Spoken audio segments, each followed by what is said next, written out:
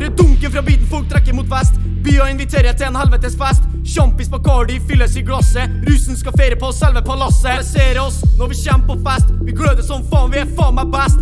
Føler du stemninga øker på fest? Da vet du er russen som kommer fra vest. Flirer av øst, flirer av sør.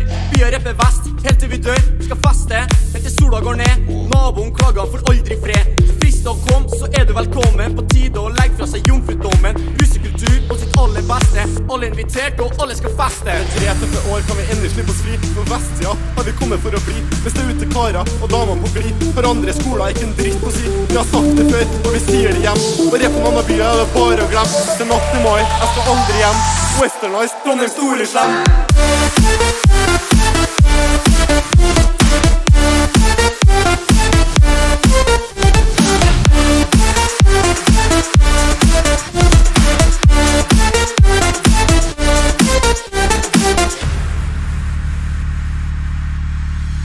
Og sjå, videreføres narkiskultur. Når sekseren går i langing, er faen meg lur.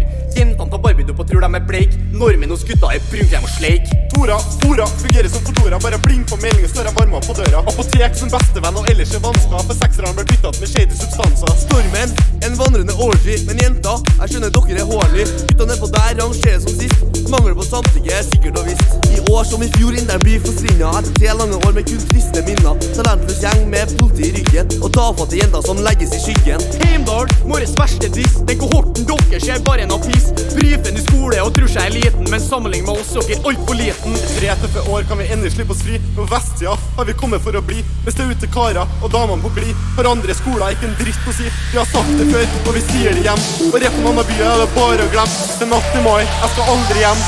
Westernized, Trondheim store slem.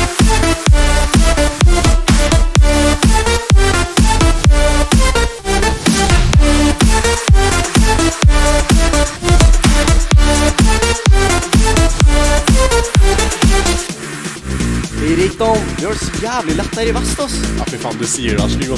Ja, fy faen, du fatter ikke, ass. RT, det steker sånn, ass. Ja, men uh, Sligo, skal vi fyre opp bilen, eller? Fy faen, det skal vi, ass. Hør på driten. Fy faen, nå dunker vi!